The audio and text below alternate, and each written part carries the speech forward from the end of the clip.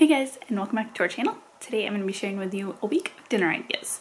Uh, this is just what we ate in the last week, and thought it might give you some ideas of what to make, as maybe you're cooking a little bit more from home and just kind of running out of ideas. So I hope this helps. Recipes will be linked down below, or I'll explain how to make them as I go through each meal. So this is tonight's dinner. Super easy meal.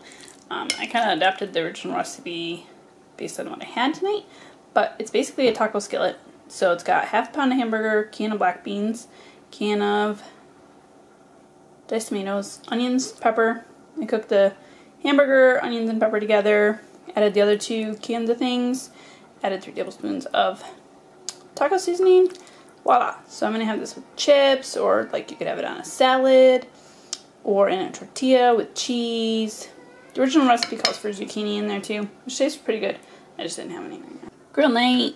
So we had sweet Italian sausage on the grill with um, peppers and onions grilled in a little foil packet. We had buns of these as well, and grapes. We also had a few random onion rings in the freezer that we baked up too. This dinner, once again, I forgot to film the original part, so this is the leftovers. This is barbecued chicken nuggets. So basically just cut up chicken, coat it with flour, salt, and pepper, and put it in a um, greased baking dish in a single layer. Drizzle some melted butter over top. Cook it in the oven at like 400. Flip it after like 15 minutes. And just add barbecue sauce after the chicken's cooked. And then that's mac and cheese. One of our favorites. And I'll link the recipe for that down below. Sunday nights are our typical pizza night. And so tonight we had pizza with homemade crust and tomato sauce, cheese, pepperoni, bacon, and onions. This is a chicken and rice soup from my friend Sharon.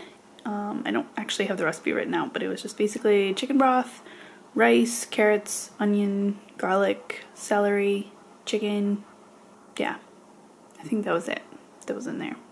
It's not very brothy anymore, but it was a little bit more the first time I, we had it. These are fish tacos. They're really good. We tried a new kind of fish and they worked really well. I didn't have all the ingredients for them, so if I had all the ingredients, it would have tasted better, but they were pretty good. I made these with homemade flour tortillas. Also, one recipe that I did not actually film, I forgot to, I thought I did, but I did not, um, was a chicken and stuffing recipe. It's a crock pot meal, and you put the chicken in the crock pot, add the stuffing mixed with some other ingredients on top, and voila, there you go. Get that with some mashed potatoes.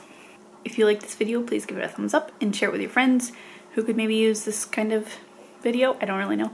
Um, and also comment on what you're making this week. I am always looking for new ideas, so let me know what you're cooking. Don't forget to subscribe to our channel if you haven't done so already, and see you next time.